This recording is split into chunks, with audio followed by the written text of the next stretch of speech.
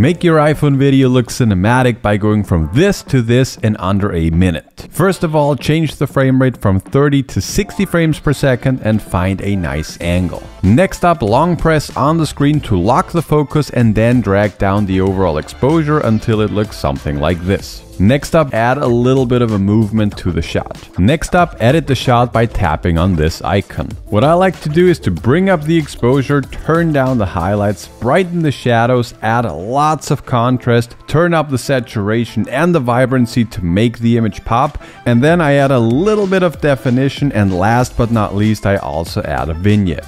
And there you have it, that's one quick way to massively improve the video quality of your iPhones. Follow for more.